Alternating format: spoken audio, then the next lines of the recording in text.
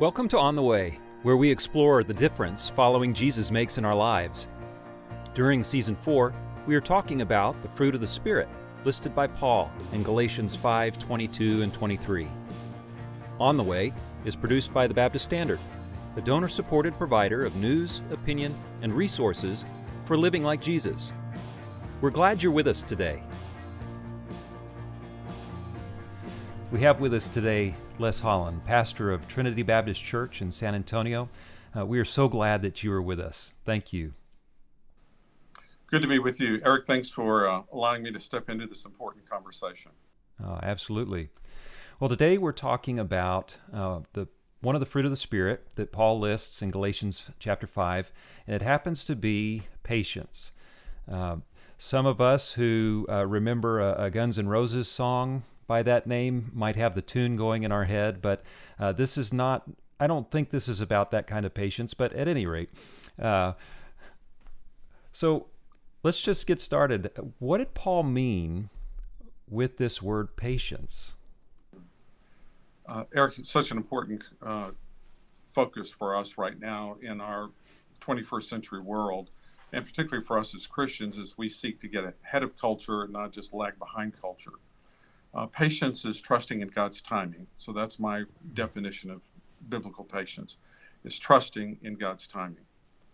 Uh, in my office is a uh, needlework by a 15 year old uh, girl from India who said, in the, the, the words in this needlework are, faith is trusting in God's timing. Mm. And it's uh, amazing but not surprising to me how many people who come in my office working through something in their life or for us as a church, they'll notice that artwork and say, that's exactly where we are right now, needing to trust in God's timing, either in our marriage, with our children, or decisions that we're making uh, as a church. So God loves us so much that He gives us a provision of His presence in time, you know, the Alpha and the Omega, the beginning and the end. Jesus Christ, all who was, is, and will be, uh, combining those statements from John, Revelation, and uh, the book of Hebrews. So, patience then is not simply um, saying, hey, it's, it's all going to turn out okay. It doesn't matter. It matters absolutely. And those, uh, those magical words of sprinkling, it's going to turn out okay, are very misleading mm. and many times harmful because there is a covenant by which things can turn out better redemptively in the presence of God. Would God how God can turn a downside situation right side up, and how like out of Romans eight twenty eight we will we need to partner with Him by loving Him, uh, trusting in Him, so that He can do that work to bring all things together, uh, ultimately for a good purpose.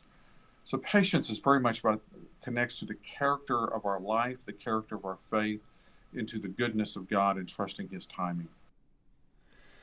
Yeah, when I look at that, um, I, I, like to do word studies. Um, I'm not a Greek scholar or a Hebrew scholar, but I, I like to dig a little bit. And uh, the word that Paul uses, some also translate as uh, long suffering or forbearance.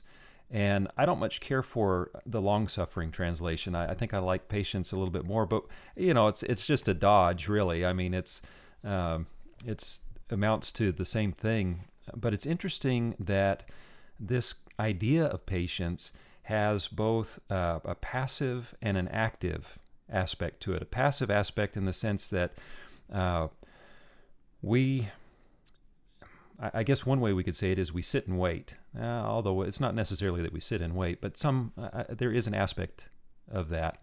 But also it's active that, as you say, uh, it's not so much that we just like que sera sera, what will be will be, uh, you know, it's going to be okay, uh, but that we are actively involved in whatever is happening, uh, and part of that act that activity is is trusting in God's timing and being about our life in the meantime.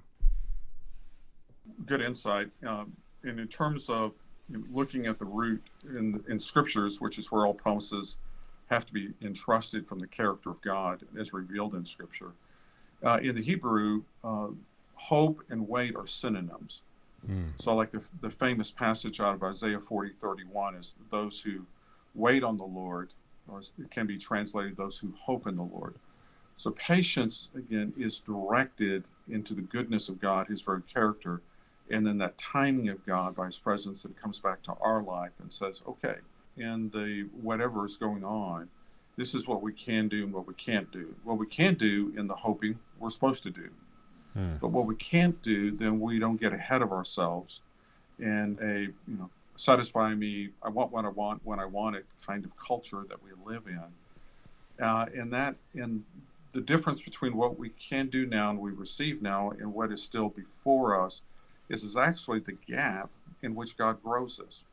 And we can mm. look at this as an opportunity for our next spiritual growth. Say say more about that. I was going to ask you a different question, but hearing you say that, where the gap is an opportunity for God to grow us, I'm intrigued by that.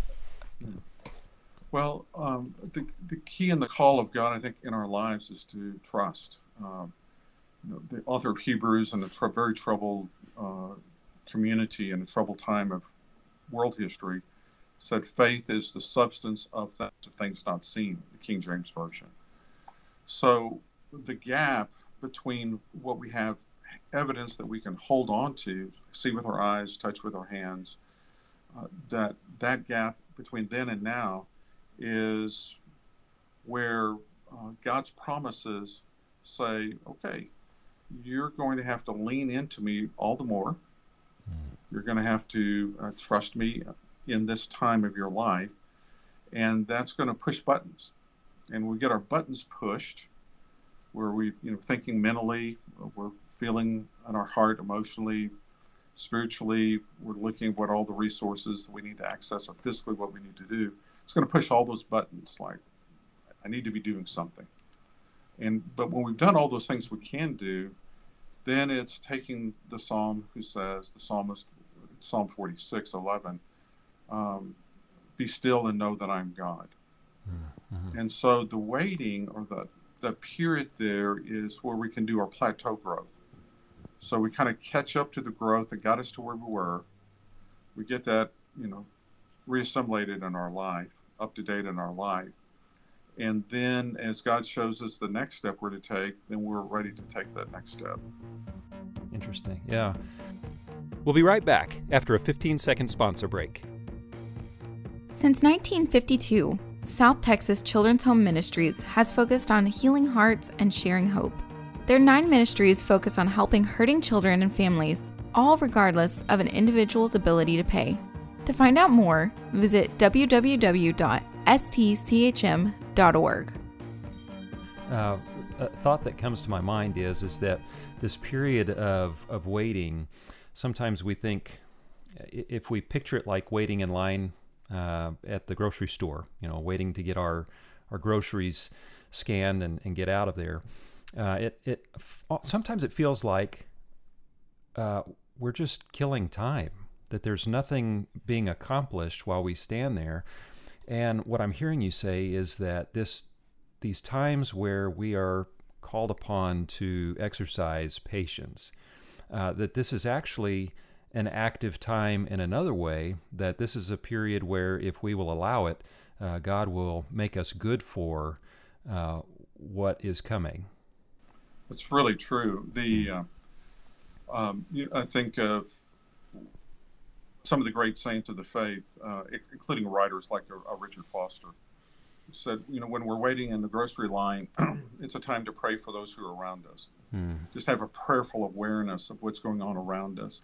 Or I like to say, when we are family member have gone to the graduation ceremony, whether by Zoom or in person, and all those other names get called. what do we do with that time? And we oh, yeah. times, okay, it's seven seconds a name before the next person comes. And, so that's a lot of throwaway time. Or we can choose to pray for each name that's called out.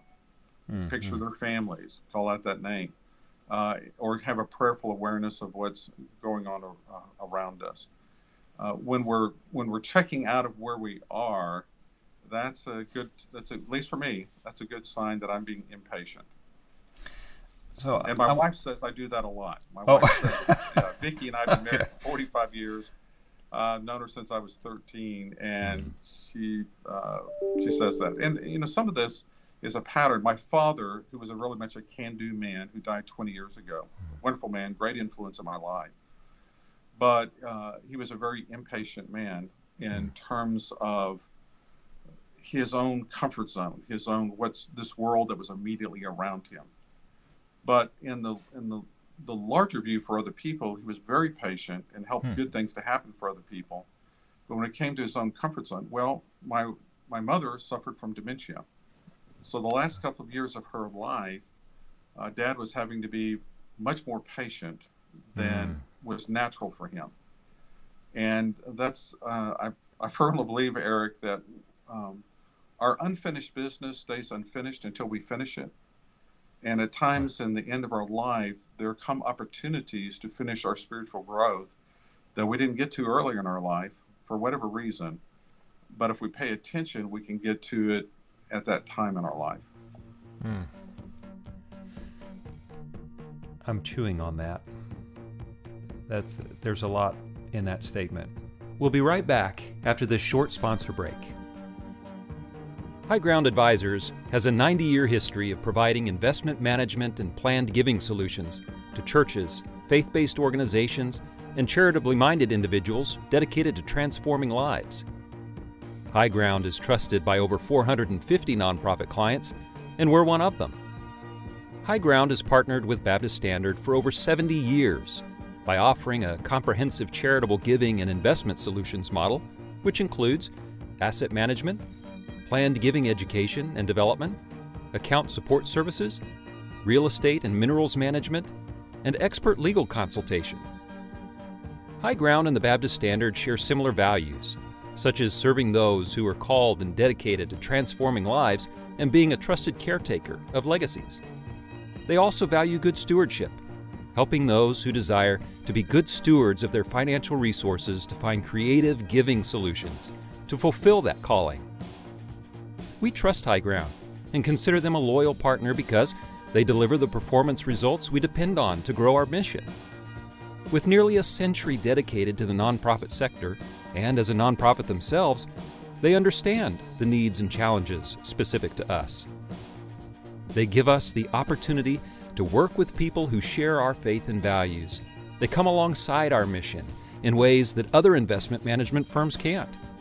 They know that what they do to protect, strengthen, and grow our mission is ultimately in service to the gospel. To learn more about how High Ground can partner with you or your organization, visit their website at highgroundadvisors.org. So, I want to ask uh, the patience that you've been describing, uh, how is that different I, I think it's this is maybe a leading question. I think it's qualitatively different. But how is this patience different from uh, patience that we might be counseled to exhibit um, in a worldly sense? Yeah. Uh, well, the, the, the, I think the primary difference is uh, our patience, in order to be effective, most effective, effective at that next level, you know what's called the in the scriptures that's called the penultimate level uh, to the moving from the penultimate level to the ultimate level the highest level is when we root it in the character of god who mm-hmm. god is you know uh, so for instance uh, as a church historian i've recognized that every generation of christians has had a there's been a movement in every generations of christians is that christ is coming back in our generation yeah. So we think we're now forming the 102nd generation of Christians. We take 20 years for a generation. Well, there's an important urgency about God culminating history, and that is the, the culmination of history in Christ Jesus. Absolutely. But we have to be really careful when we over identify and we tried to work in the culmination of history uh, with uh, the Parousia, with that return of Christ to just our generation. That's kind of that's over fixating ourselves and losing sight of this kind of larger vision of God. Mm. So there's a whole bunch of that conversation, but that's one example. I can give another example. Yeah. Ed Shelton grew up in the hills of Kentucky, where I lived for 23 years. Okay. And when they when he was a boy growing up in the hills of Kentucky, uh, there was uh, some expression of people who had moved to the hills from the mountains, the Appalachian Mountains. So the understanding of "come hope me" was a way, their way of saying "come help me," but hope and help were synonyms in that culture, which I, which okay. to me is uh, a really helpful illustration. We do what we can do when we can do it, as we can do it, which is how I define discipline to do what we can do as we can do it when we can do it in God's timing. So the hope is okay, is that now I can help you. God's coming to give his help to us now as we are. And all of these statements or illustrations that I've referenced very quickly are rooted in the character of God. Otherwise, the, the patience is only rooted in my human resources, which are important. They're in uh, the arc of history, that's important. But it's if we understand that God creates the arc of history, as the Baptist preacher Martin Luther King Jr. would say, quoting a great uh, a great poet before him, that the character of God is why we can trust in the arc of history. Hmm. Or the character of God is why we can trust that there's in the economy of God, the whole fruit of the Spirit is rooted in the economy of God you know, love, joy, peace, patience, kindness, goodness, faithfulness, gentleness, and self control. Yes. Well, the self control is kind of a culmination in our growth that has a has its connection back to patience. That we're not getting ahead of ourselves by being out of self control, but when our self control is rooted in God's discipline of our character, God's timing then begins to fit together. So, part of what I hear you say is that uh, patience, in this sense, has a direction. It has an object. It's uh, teleological, you might say. Uh, and so, another reason why I think some people struggle with patience is because uh, they may not be clear on to what end. And uh, the patience that Paul is calling us to has an end, it has an object. Uh, it's rooted in God, in God's character and God's promises, but it's also directed back toward uh, God and God's character and God's promises. Absolutely. Okay. And you know, to what end is what we call visioning, and you know, in the life of the church, for instance, uh, we're responsible to s- sense, see a vision of God. Uh, the word uh, prophet in the scriptures meant to be a seer, to see that, and then to begin to form plans that can help accomplish that vision. Well, we know the old saying. The old joke is, uh, you want to make God laugh, tell him your plans. that's right. But that's I've right. also noticed that unless we're willing to to try to see the future, we can't see what God is wanting to show us. Hmm. So it's like one continuous comedy routine. We get stretched into seeing some a glimpse of what God's showing us. We try to put plans with that, and then God, you know, does His uh, loving smile at us, and then we say, "Okay, all right, I didn't get it all," and so we do it again, and then He says, "Okay, we can get it all. Because in impatience, we can trying to control outcomes and measurements and metrics. They all have their place. But if we get compulsively uh, addicted to trying to control, mm. uh, then we, you know, we bruise the spirit of God. We, we impatience keeps us from bruising the spirit of God uh, from by trusting in His character and His timing you just said uh, fixating on control, and it it brings a question to my mind. Uh, does patience then uh, signify, in some sense, a lack of control, or is it a, a letting go of control? Uh, or are those the same? Yeah, good question. Good question. Maybe the disciplining of control. I, hmm. There is a part that we play um, I'll frequently say here at Trinity, Eric, uh, God will do what only God can do, mm-hmm. so we will do what only we can do. And so there is this kind of a harmony of our our being active in our faith, uh, but doing so knowing that it's serving in God's timing in His ways for His purposes. So control is when we think, eh, God, I don't think you're moving fast enough. Yeah. We may not say that, but it's what we're feeling. And then we want, well, let's go ahead and push this a little, uh, little further. So as parents, we know with our children or grandparents with grandchildren, or Sunday school teachers who's teaching a children or youth class, there there has to be a lag time between uh, the teaching mm-hmm. and the application.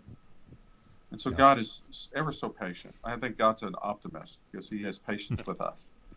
And He gives us lag time to kind of catch up to the growth that uh, He has begun in our life. So Philippians 1 6, but be confident and sure of this very thing, that God who began a good work in you will continue to perform that work right up until the time of Christ Jesus. Yeah.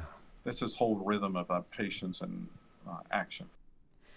Well, as we come to uh, to the end of our conversation, you've already shared a couple of ways that people can practice this kind of patience, uh, such as praying for those around us as we wait in the grocery line, or uh, being mindful during a graduation ceremony instead of checking out all the names except for the one that matters most uh, to us, but perhaps praying for all those uh, individuals, uh, some of whom are close to the one that matters most to us uh, and would appreciate those prayers. But at any rate, uh, what are some other ways that uh, we in our day to day time or in that gap time, some ways that we can develop this patience and grow uh, in this patience? I think it's one to be patient with ourselves. Hmm. Uh, so whenever uh, I get angry, which is a lot less now than it used to be, but it's been a journey for me. Hmm. When I get angry, is to learn to ask the question, why am I angry? What is really going on here? And it frequently has something to do with an impatience. Hmm. Now, something may not be going on as it should be going, and it needs to be improved, and let's get after it. Let's make the improvement. But frequently it is, uh, I am disappointed in myself, or I'm disappointed that something is not happening around me that uh, I wish was happening differently. But when I get down to the root of it, it is like, um, is this anger in rhythm with God's timing? And then I come back to the moments. No, it's really not. Yeah. This is about this is my stuff. It's my sense of wanting to be in control and needing to trust God with it. So, to track down our anger, and connect that to patience, I think is a really practical uh, mm. application. And the same when we we feel frustrated, maybe not angry, but we feel frustrated with other people, is come back and kind of ask that question. And what patience will also enable us to do, Eric, as a practical application, it will calm our mind. Mm. So, like Philippians 4 8, it will calm our mind so that if we're not we're not losing those kind of neuron connections to impatience and anger and frustration. Hmm. But we're able to calm our mind. We're able to see something larger that's going on here that we would have missed if we would have just got stuck in frustration. So whatever's good, loyal, trustworthy, loving, true, helpful, you know, think on these things. Well, thank you very much for spending this time with me and teaching us about patience. Uh, you've given us a lot to chew on. You are a wonderful conversational partner. Thank you for your leadership and among us as, the people of Texas. Thank you. Following Jesus is a way of life carried out over a lifetime. If this podcast has encouraged you to become a follower of Jesus or to follow him more closely, we'd love to hear from you. If you enjoyed this podcast or found it helpful, please leave a review wherever you listen to podcasts so others can find it more easily. Thank you for being with us today. On the Way is produced by the Baptist Standard, a donor supported provider of news, opinion, and resources for living like Jesus. To make a donation, visit BaptistStandard.com forward slash donate. To receive the Baptist Standard weekly newsletter, visit BaptistStandard.com and click or tap subscribe.